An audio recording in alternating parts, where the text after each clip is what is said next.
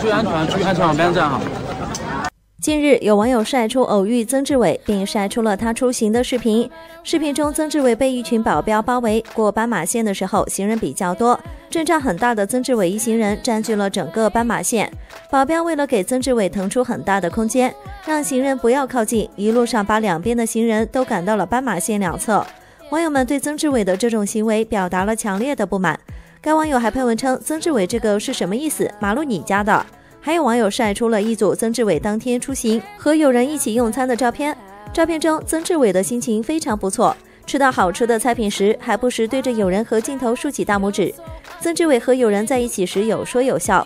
曾志伟还被拍到一个人乘坐扶梯时，曾志伟就像换了一个人似的，整个人显得非常落寞、愁眉苦脸的。想必网友的负评还是给他带来了不小的心理负担。评论区的网友对曾志伟依旧炮轰不断，还要保镖护身。马路增加的亲自走路，曾志伟的人设这是要崩的节奏啊！